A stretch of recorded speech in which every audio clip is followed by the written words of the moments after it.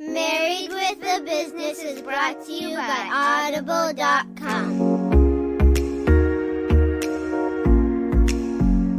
Hi, everybody, and welcome to this week's episode of Married with a Business. I'm Craig. And I'm Allison. And we're married with a business. We're here to share tips, tricks, stories of what it's like for us to be a married couple that own and operate a business together. How you doing this week, Allison? Craig, I'm good. So our oldest son is now a Boy Scout, which I think we've mentioned before, and they just had their first real camp out as a troop. I mean, and with a big asterisk on it because they were sleeping on somebody else, uh, somebody's property, and not like up in the mountains. But it was a bit of an experience for their first camp out. But it was out in the woods, and the the, Yeah. the, the the person's property that's on they own like I don't know like ten acres, and it was out in the woods like off of a lake, and and so it was like camping out. Like, yeah, it was like camping it was out, full but, on camping out. but with the caveat that like they could, if something happened, get back up to the main house. right, they were only a five or ten minute walk back up to the main house. yeah, because I think of of the troop, I think like two more than two thirds of the troop. This they've just moved up. Um, there's a bunch of older kids, but uh, they're mostly fifth graders and who haven't done a lot of this stuff yet. But what made it interesting was so this was their first like Boy Scout camp out, and it was cold and sleeting and raining. It wasn't like it was a nice 65 degrees. It was cold and, and sleety. And what was great was This was an adventure. yeah, it was an adventure. And what was great was is a couple of days, a day or two before, the scoutmaster texted everybody and said, "Hey guys, you know we're all young. The weather's looking a little rough. What does everybody think? Do we want to postpone this a week or two and see if we can get better weather?" And our son and a bunch of the other boys were like, "No, we still want to do it." Yeah, and I was really proud of them for that. Uh, Full disclosure, last minute yesterday morning, I was running to REI to get boots and rain pants and things, but they did great. I picked them up this morning. Um, they were all happy. They were like, it wasn't that bad. Um, there were a couple of kids who didn't come because their parents were like, oh no, it's going to rain. But um, they were there were 12 of them there and they had a, an amazing experience. So I'm really proud of them, especially, you know, some of these kids they haven't, you know, they've been a little pampered, let's be honest. Right. So like they, they dug in and they did great. Right. I mean, one of the kids got a got a cut on his hand and had to had to go get that checked out, but came back. You know, went back into everything. Didn't didn't. You know, I was uh, when I heard the stories today when when our oldest was telling us the stories of the of the night and everything. I thought it was great. Yeah, I mean, he went to urgent care and he was like, "I'm going back." And um, our our son said, "Oh, I made dinner for him. I hid an extra juice box because if he came back, I wanted him it to be ready." And I just the maturity that these kids are starting to gain through this experience is just amazing. And I think it's hard sometimes as a parent. You want your baby to stay a baby, and I think for me, I'm I'm, I'm actually starting to reach that plateau where I'm really ready. Like I'm really excited for him to be able to to you know blossom and go and be and uh, you know become a an adult. You know, Yeah. learn those mature things that he needs to to learn. Well, and for me, um, I'm also start as the kids are getting bigger. Um, they need more and less in different respects.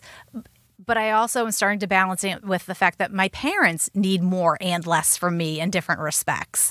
Um, I'm starting to see that now that we're in our mid 40s, we are really looking down the barrel of being that true quote unquote sandwich generation. Yeah, and that's what we're talking about this week on the show, which is being that of that age because we are now of that age where we have to still take care of our kids that are still growing and learning and they're you know and they're of that you still have to drive them places and get them to activities and on the other end we're starting to also have to take care of our parents and worrying about them and getting them to doctor's appointments or or checking on them and being you know keeping a mindful eye on their finances. And and for us you know everybody most everybody has to go through this right? So most you know uh, adults at some point in their 40s or 50s have to take care of their parents and their kids. But we have that added thing as entrepreneurs that we have to take care of a business as well. Right. So like so if you've never heard the word sandwich the term sandwich generation, it's not like boom baby boomers or generation Xers or generation Zers. Um, it's kind of a that moving target. It really is just a description about a group of middle-aged adults who are caring for both their aging parents and their children. Um, and you know g- both groups need support from them. Yeah, so you're it's a sandwich. You're in the middle of the sandwich. It's you know? So uh so yeah i think for us it's starting to become we're starting to realize that more and more. I mean both of your parents and, and my mother are still you know very independent. They're still able to drive themselves to the doctors and and take care of themselves but we're starting to see you know us needing to have a little bit more of a mindful eye on things. Yeah, I you know, I need to know what medications they're taking. I need to know, you know, I we're starting to have those conversations about what bills they have um, you know the those kind of check-in things with them it's estimated that 11 million caregivers provide unpaid care to children and adult parents. That's about 28% of all caregivers right now. So, this is, as the baby boomers do get older, this is definitely a, something that's going to become more of a topic and more of something that people have to think about because we are also children who aren't necessarily who don't necessarily have our parents living with us like maybe our parents grew up with a grandparent living with them. And they they say that the average caregiver in the sandwich generation is that late 40s, early 50 year old woman because and that is true. Most of the time it's the daughter, it's the female that's taking care of the kids and the you know adult parents and that they're providing approximately 20 unpaid hours a week of caregiving. Yeah, and about 26% of them are parents of a minor as well and are paying and are about 50% financially supporting their parents as well. So there is this there's a whole lot of stuff going on with, you know, not just being a middle-aged adult, but being a middle-aged a parent and a middle-aged child.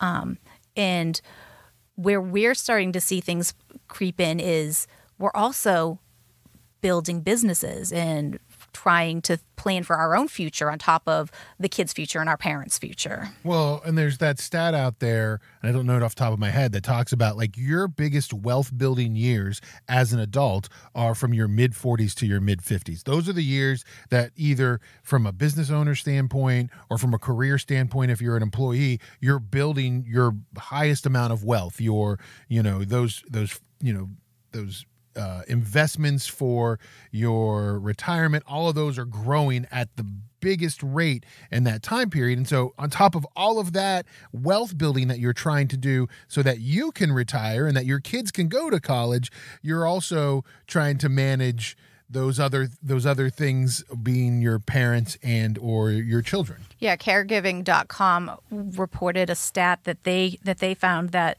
um, women age 50 and older who leave the employment to care for their parents on average lose about $330,000 in wages and benefits over their lifetime.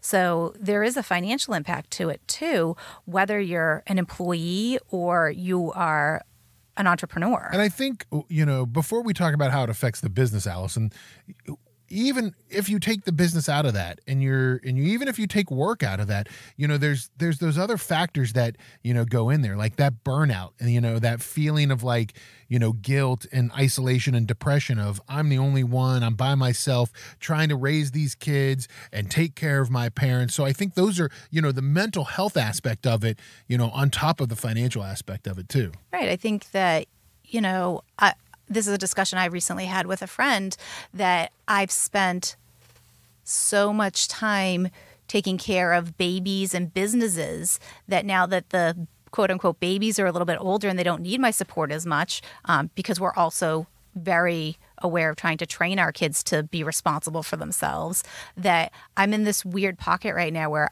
I don't know what to do with myself because we've spent 20 years building a business that has systems and taking hats off of me and we've spent almost 12 years raising kids who can take care of themselves to some degree and now um, I've lost a lot of myself, but as I start to figure out what I'm doing, I'm also looking at the fact that now I'm going to have to take care of parents as well.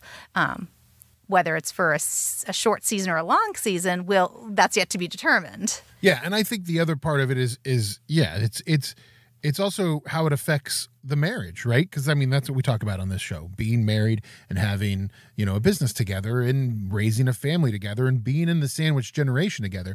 And and we're lucky to some extent because you know when we look at our parents, your your parents are about eight years older than my mother, so your parents are you know your family's uh, a little bit older, so in our mind, the thought process is, hey, hopefully we'll deal with one and then have to move to the other and and go straight down the line. But that may not be the actuality of it. But I think also for us, it's that communication, right? It's how it affects our marriage and our and our time and our time with each other. And and we're finding it hard now. I mean, finding that time to go away with each other or get a date night with just each other. Yeah, and I think that you know, entrepreneur as entrepreneurs who are part of the sandwich sandwich generation, like everything else, we are lucky and we are unlucky in the fact that to some degree we our time to some degree our time is malleable and um, there are times when our finances are malleable and um, but not all the time. We are also in that tough position where between both families there's just one sibling. You have no siblings and i have one sister. So for us um, as much as my sister and i can split responsibilities with your mom there's no splitting responsibilities um, and i both you and I have the ability to look back and remember what our parents went through and talk about, okay, where did it work and where didn't it work with our parents and what can we do?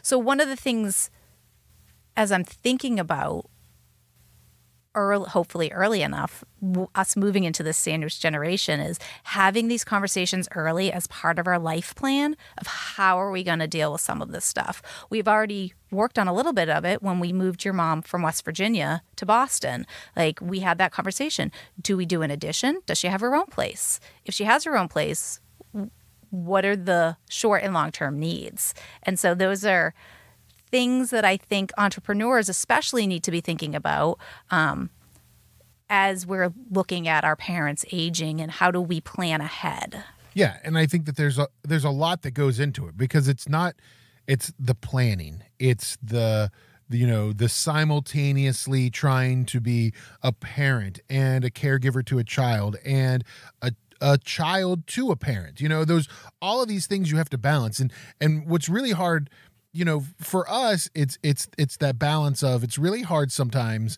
to turn to your kids and say, hey, you need to be independent, you need to grow, and then turn to your parents and say, hey, you need to let us help and you need to let, not be as independent sometimes and let us be a part of big decisions and whatever it might be. And I think with my parents now, my parents are in their mid, almost mid to late 70s. Um, they're both in fairly good health. They're both fairly good um, cognitively. I, because of the way our family's been set up, I do like help them with their finances and kind of keep an eye on things. And we're right now in that in that in between where they don't need my help a lot, but I do manage some of it. And it's like, and it's like, some days we're going along great, and then some days I think they go, "I'm not, a, I'm an adult. I don't, I don't need to run things by you." And then, it, and then I'm like, "Oh," but I get blindsided by things because it's, it's not all or nothing kind of at this point. Right. And getting in, you know, as we get older, that's, I think that's going to be my biggest challenge is, is having them release some more of that control. And I get it. It's you know we've talked about this with business with tran- transitioning businesses and family. It's the powdered butt syndrome, and I try to be very aware of that. Um, you know, if you don't know what the powdered butt syndrome is, if they've changed your diaper and powdered your butt, they don't want your advice on money. Right. And I think, you know, like anything else, the, the I think the differences too is is your dad was an entrepreneur. He went through the vast majority of his life doing what we're doing now, which is making decisions and being the person that's in charge. And I think that, you know, as he gets into his 70s and in his early 80s, that's going to be a challenge of getting him to understand, you know, the balance of not being that person as much because he needs to you know everything needs to be a little bit more of an open book and everybody does need to be working together to make sure everybody's safe and and things don't happen. I, I just recently talked to a friend of mine who who is having a struggle with his mother who is in her 80s and she uh, has had an issue where two or three times now she's gotten taken for money because she doesn't understand you know the phone call the the the phone calls the predatory phone calls or emails that come through. And so he's having that struggle of you know trying to get her to understand that he needs to be a part of it. Um I think that you know those are definitely things that are on the horizon for you and I, and and it and I I'm not looking forward to on the other end when we're at that age and having to do you know we say today well will we won't do this to our kids, but I know that's easier said than done. Like I'm not going to be I you know I'm not going to be the way the father was my father was to me to you, but it's still going to happen, right? Exactly, it does, yeah. Um, and in terms of our business, I think that in the back of my mind as we've been building our business, because um, I'm very honest, like when I came in 20 years ago, I said my goal is to build a sellable business, whether Right. we sell it or not.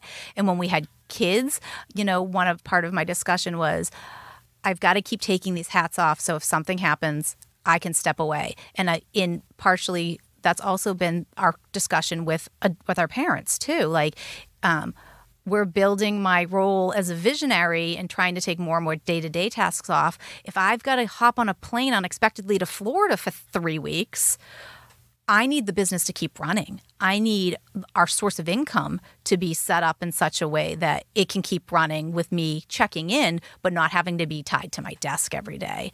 Um, so, as an entrepreneur, that's something I'm also trying to build into that emergency planning. Yeah, I think for us, you know, to be specific about it, I think that we've built the business now where you can be away and you can even do a, a, a good portion of your re- work remotely, right? Like you can log in and do some of the the things that you need to do remotely. I, I worry more about it for me, and we've made the decision that you're going to be the person that has to to do that, right? Like we've sat down as a couple and we understand, you know, my my role in the business is still much more, you know, every day making sure the wheels keep turning you have it your role is a little bit more tactical and doesn't necessarily have to be in it every day. You can jump in jump out and jump in as necessary. And i think that's one of the decisions that we've made as a business owner knowing that we're not at that point yet but you're right. It could happen any moment. It could happen tomorrow where you do have to jump and go somewhere and check on something or deal with something. And that we've made the decision if it if it's with your mom and dad or if it's even with my mom that you're going to be that person. And I think we had that conversation early on, I think, as part of kid planning. But also, you know, when your dad got sick nine years ago and passed away, that was something that we had to, we struggled through a little bit. And I think as we came out the back end of that, um, when your dad was sick, you really wanted to, you wanted to be the person that was there. Right. And um, so, so you were there more. But I think that having gone through that, we, having those conversations about okay if this happens again how are we going to address it was really helpful. It's again like i've said before it's always helpful to have these what if conversations before something happens. Yeah, I mean, when that happened uh, back in 2013, like in 2014, there was a, I was traveling a lot, and there was a lot of me away from the business, and it was a stress because I was the primary and still am the the primary salesperson for the business. So I'm bringing in um, the the sales. I'm making sure the funnel is getting filled from the top as it goes through, and I think that we learned in that experience that wow, we have to make a better plan moving forward. And so part of that was yes, we wanted to get my mother closer. So if that stuff did arise again, she was local and we were able to handle that. And two is to make the decision that you were going to be the person that, you know, as we dealt with these things, as these things came up, that you were going to be the person that was going to have to leave work and deal with some of that stuff. Yeah, and luckily then we were still we were just kind of we were still in that transition process with my dad, so my dad was able to be that emergency person to come back and step in.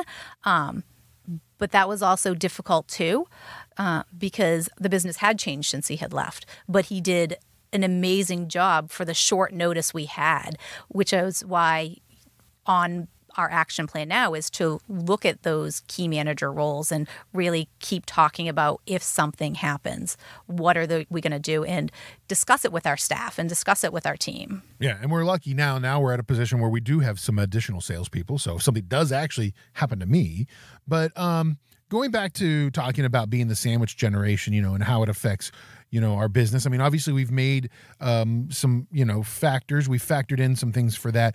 The one thing that i think we're starting to work on is how do we factor in like the emotional you know sort of handling of it. I think that that's the hardest part for us right now allison is is you know we we're not there yet where it's you know 20 hours a week or whatever it might be but we we are starting to think about you know how do we keep everybody in the loop? How do we keep ourselves recharged and emotionally there? All of those things. Yeah you know um, things that i've been thinking about are we do have to take time to recharge. We do have to schedule in some of that downtime. And i know Friday you scheduled in some downtime, which was good mental health break for you. Um, I scheduled a couple of weeks ago. I was like, I just have to go get a massage. My back hurts. I don't feel great. Um, just making a conscious effort to, even though I'm, we're so busy, to put it in our schedule. Um, and then start talking with family members about how are you going to communicate. You know, even though you don't have siblings, you do have aunts and uncles who we communicate a lot with because of your aunt because of your aunt. Um, so kind of using that same system how if something happens to your mom how are we going to keep talking whether it's an app whether it's a google drive? You know my sister and i are starting a google drive where if she gets information about medication changes or i do we both have access to it. I think that's that's a just like with a business sharing the access and not having it be like a little secret over here. So if I'm with mom and something happens, or Christine's with mom and something happens, we both have can have access to that information. Yeah, and I think that's one of the the challenges is to be able to sit down and have those open and honest conversations with you know your your parents as as we come through this is to talk to them and say like listen i understand you want to maintain independence and we want you to maintain independence but we need to also be prepared for what if something happens to mom and she knows all of the medications dad's taking or vice versa or what if something does happen to dad and we need to understand where the money is so that mom can still pay the bills or we can help her pay the bills. And so i think for you know most families that's the hardest part is having that conversation and being ahead of that so that you're not scrambling when something does happen. And I worry about those of you who maybe you have more siblings and one and you are that primary person for mom and dad um, not taking on too much. And I don't want to say being the martyr, but feeling like nobody else can do it. I have to be with mom all the time. You know, my brother can't come in and help because of XYZ. Um, because it's not healthy for you and it's not healthy for your kids or your or your grandkids depending on your age um, and it's not healthy for your relationship with your siblings right or or your parent that you're helping take care of um, so i think that you know if I could if I could push you if you're that person like tell them what you need and hold them to the expectation that you that you that they're going to help you because you can't do it all alone and it's going to it'll break you and it'll break the whole dynamic. And I think that, you know, that one thing about you and and your sister are as as vastly different as the two of you are and you both have your strengths and your weaknesses i think it's it's really good that the two of you do communicate a good amount you know about your parent offline about your parents. Sometimes it's frustrating sometimes it's it's venting to each other because i think you guys i think that's a healthy thing. You know i think it's healthy for you and your sister to have to vent to each other sometimes about mom said this or dad did that.